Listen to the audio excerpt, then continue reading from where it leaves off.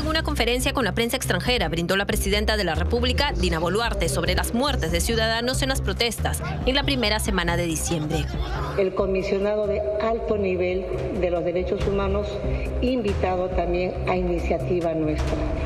No vamos a permitir impunidad, que se investigue, se individualice los hechos y la Fiscalía de la Nación y el Poder Judicial estarán asumiendo sus roles como corresponde. En declaraciones a la Asociación de Prensa Extranjera, Boluarte ensayó una explicación sobre la instauración del estado de emergencia.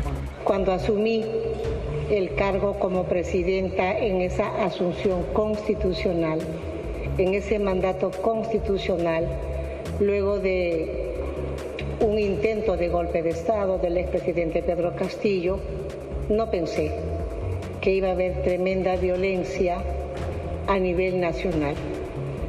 Teníamos que tomar medidas necesarias para salvaguardar la vida y la tranquilidad de los 33 millones de peruanos y peruanas.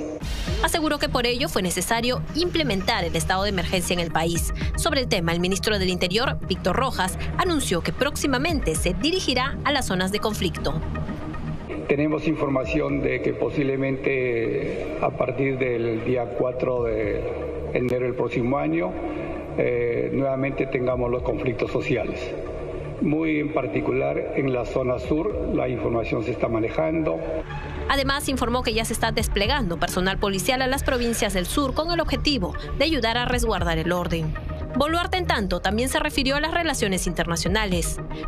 A través de nuestra Cancillería estamos trabajando arduamente para poder restituir el que nuestros embajadores venidos en consulta al país puedan regresar a las embajadas respectivas, porque es muy importante para nosotros, sobre todo para la Alianza del Pacífico. Consideró que algunos presidentes de la región han interpretado de manera errónea su asunción a la presidencia. De otro lado, anunció que no se romperán relaciones con México, pese a que no hay embajador en el Perú.